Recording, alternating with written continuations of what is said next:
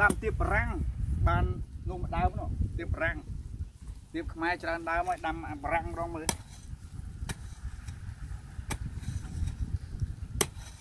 ជីកឲ្យធំធំបង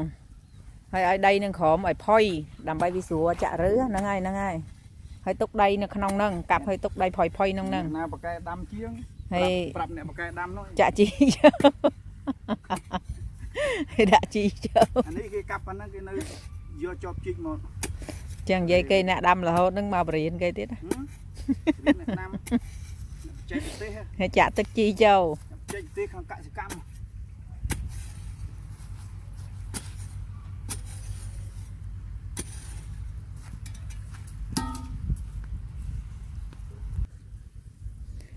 នេះបងប្អូនធ្វើស្មៅបានប៉ុណ្ណឹងណាកន្លះថ្ងៃហ៎បងប្អូនណាមិនឆាប់ទេណាព្រោះស្មៅនេះរឹងហ៎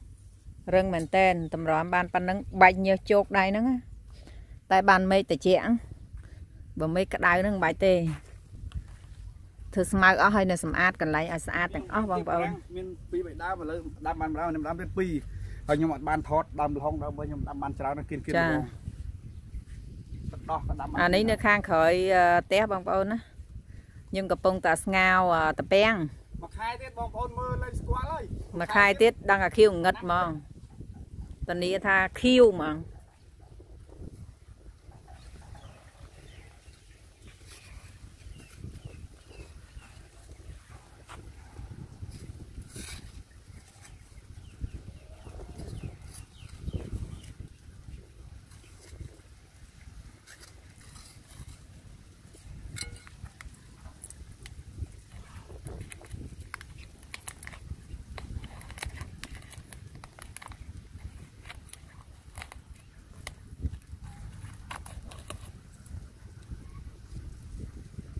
ទៅដាំអីគេទៀបបារាំងបងប្អូនអើយទៀបបារាំង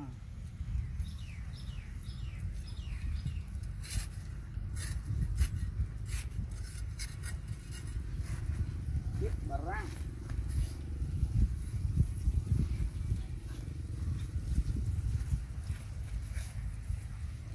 អាហ្នឹងចឹងមែនតែសត្វជីជាតិបងប្អូន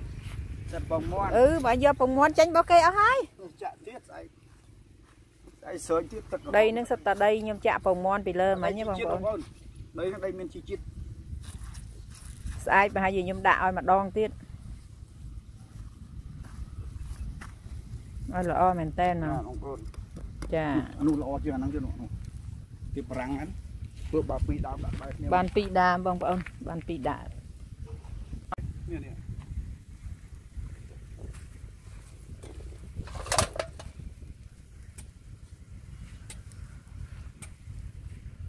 ហើយវា ទៅសោះដីវាធ្វើជីជាតិស្រុកជីជាតិខ្ញុំធ្វើអញ្ចឹង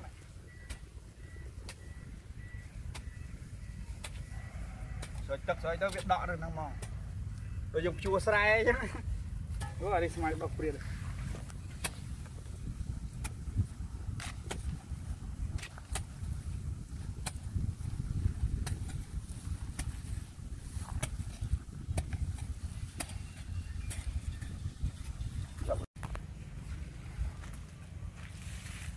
ថៃបូ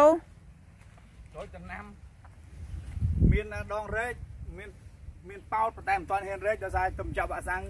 គេឲ្យធ្វើការធ្ងន់នោះអញ្ចឹងដួសមកមុំមុំគឺទៀតរែកទឹកហើយ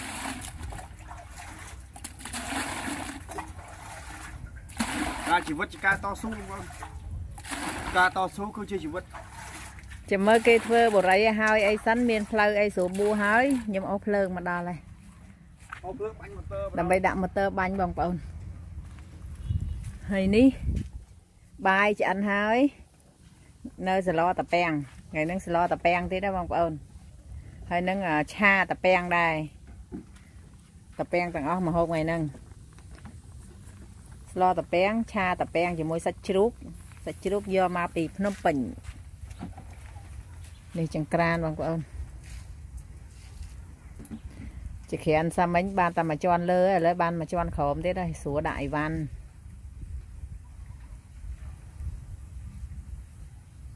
ទៅជួនអីវ៉ាន់មកឥឡូវអាអីវ៉ាន់ក៏កំពុងយកមកតិចទៀតអញ្ជូនអីវ៉ាន់ពីចកាចាស់មកដាក់ខាងនេះវិញអាអាស្រ័យសំណង់អស់មកទៅចា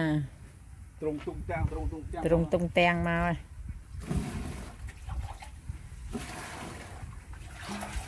នេះខាងក្រោយផ្ទះបងប្អូនខាងក្រោយផ្ទះ កន្លែងនេះគឺខ្ញុំកំពុងតែដាំអឺឃ្លោកអឺតសក់ស្ដៃគួរហើយនឹងអឺពោតបារាំងដាក់4មុខហើយតែប្រហែលជាឃ្លោកនិយាយទៅអត់ទឹកមិនដុសឃ្លោកទេប្រសក់ហើយនឹងអឺស្ដៃគួរអីទឹកម្ដាក់ម្សិលមួយថ្ងៃម្សិលមិញណាហើយអឺពោតបារាំងទឹកម្ដាក់មិញមិញហ្នឹងនេះឃ្លោកបងប្អូននេះណាឃ្លោកមកប្រហែលបានមើល 1 2 3 4 5 6 7 8 9 10 11បាន11ដើមបងប្អូនឃ្លោក11ដើមហ្នឹងមិនបាច់ទេផ្លាយដល់យកទៅណាអស់ទេអត់ទាន់បានដាំតឡាចបងប្អូនព្រោះរោគ្រាប់មិនទាន់ឃើញពេលចឹងខ្ញុំអត់ទាន់បានដាំទេសភាពនៅហ្នឹងណាបងប្អូនម៉ោង5ម៉ោង6ល្ងាចអស់តោះហ្មងនិយាយពីស្អាតស្អាតមែនតើហ្មងទេសភាព original ចា original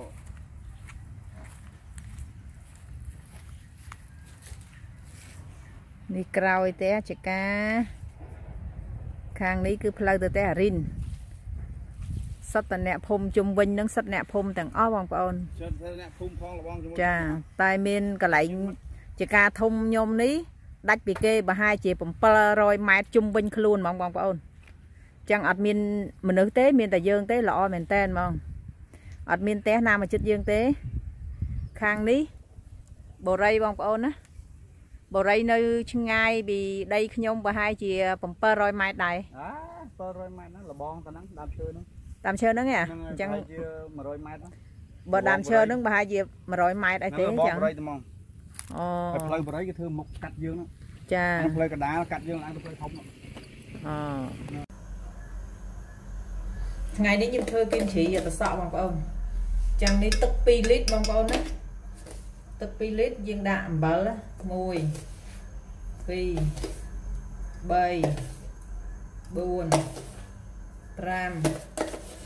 5 6សភាអំបិលណាហើយយើងដាំឲ្យពុះដើម្បីយើងចាក់ត្រាំប្រសក់ចា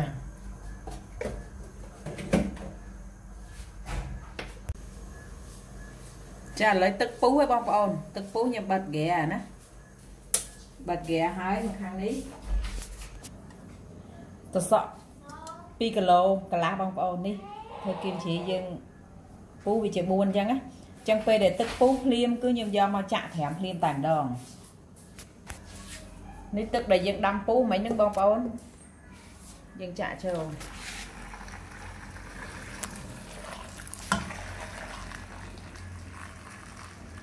ចាយើងចាក់ចូលយើងត្រាំទៅសក់30នាទីបងប្អូនណាយកចានមកសកត់កុំឲ្យទៅសក់យើងមិនដែរទេ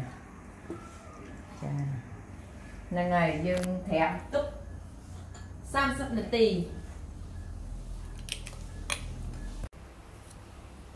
ចាឥឡូវខ្ញុំចាប់ដើមលាយគ្រឿងបងប្អូនណាយើងលាយគ្រឿងដើម្បីយើងប្រឡាក់ អឺតសក់បងប្អូនណាតសក់ខ្ញុំត្រាំបានកន្លះម៉ោងហើយតែគ្រាន់តែឥឡូវយើងប្រឡាក់គ្រឿងសិនអញ្ចឹងនេះខ្ញីបងប្អូនណាខ្ញីខ្ញុំហាន់ន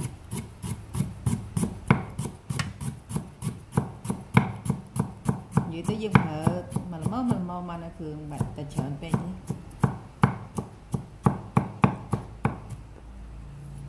នេះខ្ទឹមសបងប្អូនណា ខ្ទឹមសក៏ហាន់ដូចគ្នាដែរ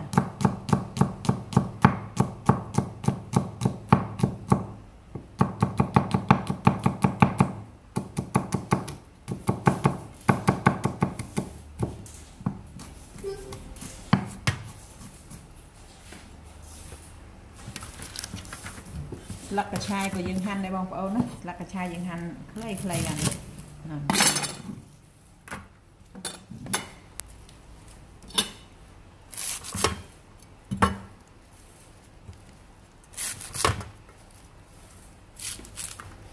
ចា ហើយខ្ទឹមសខ្ញុំច្រាមជាមួយអាខ្ញញីបងប្អូនណាយើងច្រាំឲ្យម៉ត់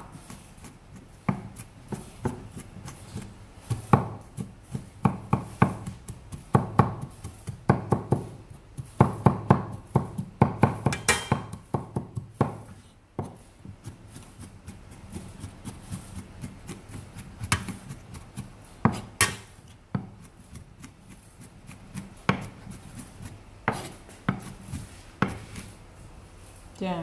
ម៉ត់ប៉ុណ្ណឹងបានបងប្អូនណាយើងដាក់ចូលនេះខ្ទឹមបារាំងបងប្អូនណាខ្ទឹមបារាំងមួយទូចឯង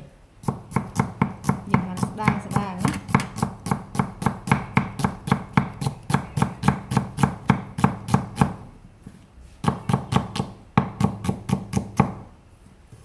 យើងដាក់ចូលជាមួយ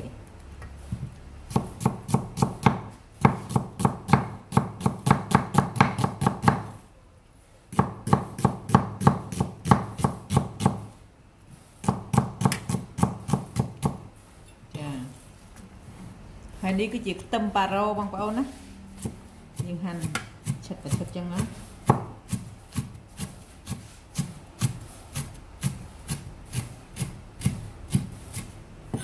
យើងដាក់ចូល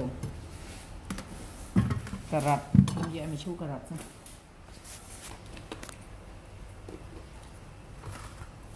ចឹងឡើយយើងឈូការ៉ាត់បងប្អូនណាយើងឈូតាខ្លីៗចឹងបានណា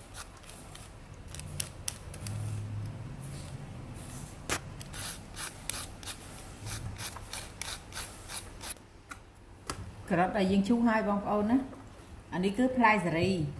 ផ្លែសេរីអាតូចណាបើសិនជាអាធំបងប្អូនយកតែពាក់កណ្ដាលបានហើយតែអាតូចដាក់ទាំងមូលណាអញ្ចឹងខ្ញុំខ្ញុំហាន់ដែរ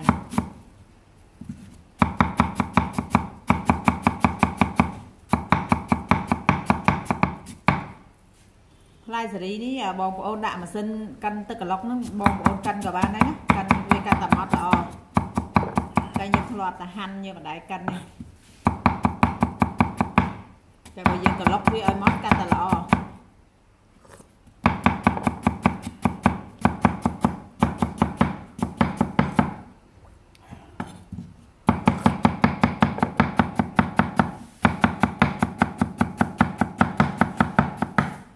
ខ្ញុំធ្វើហូបពីរបីដងហើយបងប្អូន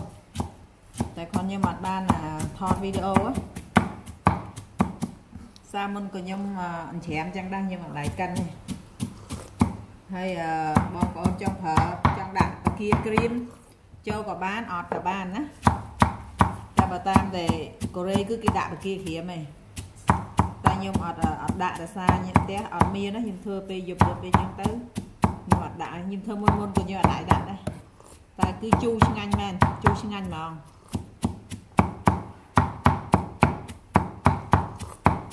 ចឹង ឥឡូវយើងច្រាមឲ្យម៉ត់សិនបងប្អូនណាបើសិនជាយើងអត់មានម៉ាស៊ីនកិនយើងច្រាមឲ្យម៉ត់មែនតែន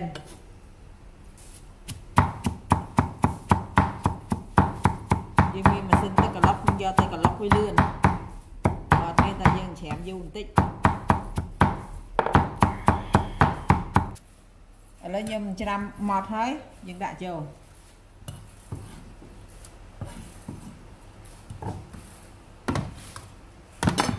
សុំទឹកខ្មុំបងចឹងឥឡូវខ្ញុំចាប់ផ្ដើមដាក់គ្រឿងបងប្អូនណាល្ងពីរស្លាបព្រាទឹកត្រី1 2 3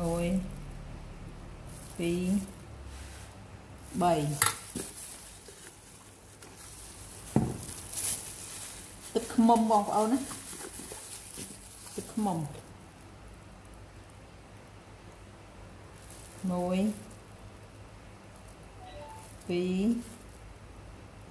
3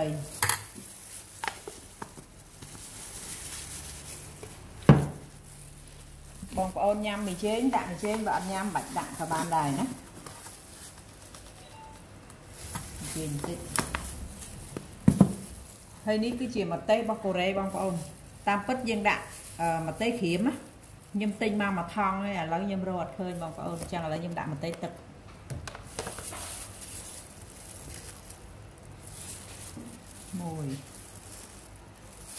2 3ចាប៉ុណ្ណឹងហើយយើងច្បល់ចូលគ្នា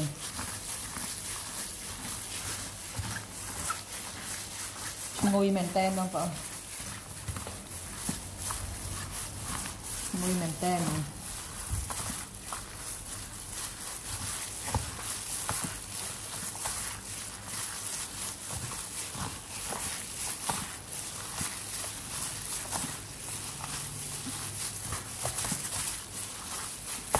ទិញម្ទេសក្រៀមហើយហើយតែឥឡូវរកអត់ឃើញ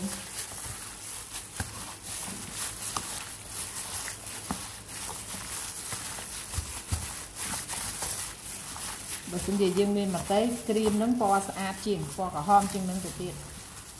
ចាប៉ុណ្្នឹងបងប្អូនណាឥឡូវខ្ញុំយកទៅសក់មកសិនយកទៅសក់មកបន្លាក់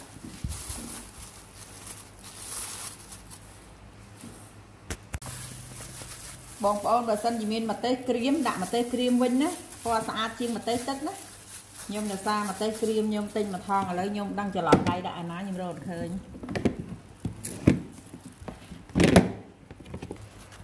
នេះតសក់ដែលខ្ញុំត្រាំមិញហើយបងប្អូនខ្ញុំដាក់ឲ្យស្ងួតហើយឥឡូវខ្ញុំយកមកប្រឡាក់ពាក់សូមដៃមកជាហៀងទៅសិន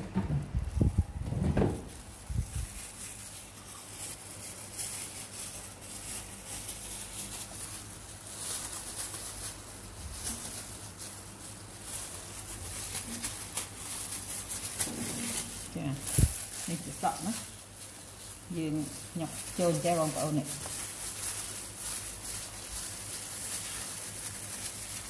ចាចឹងមកហើយយើងរៀបចូលក្នុងកន្លរបស់យើង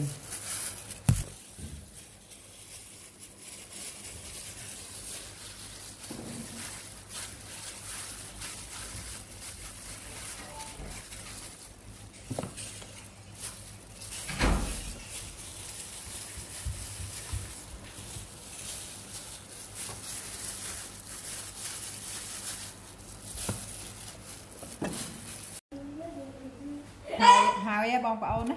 សក់ដែលខ្ញុំប្រឡាក់ហើយហើយចឹងខ្ញុំដាក់ថែមល្ងទៅលើបន្តិច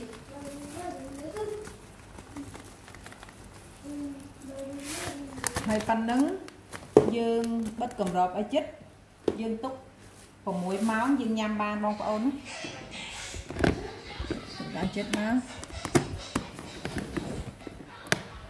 ចាអញ្ចឹងយើងទុកអញ្ចឹង6ម៉ោងក្រោយយើងបើកគឺ គីមជ្រីទៅសក់របស់យើងជូរល្មមពេលណាបងប្អូនឃើញជូរមកល្មមញ៉ាំហើយបងប្អូនយកដាក់ទូតកកណាដាក់ទូតកកអត់ចេះខូចទេដាក់បានយូរណាទុកបានយូរខ្ញុំអាសាធ្វើញ៉ាំតែសាមុនមុនខ្ញុំអត់បានថតទេអញ្ចឹងហូបទាំងអស់គ្នាបងប្អូនណា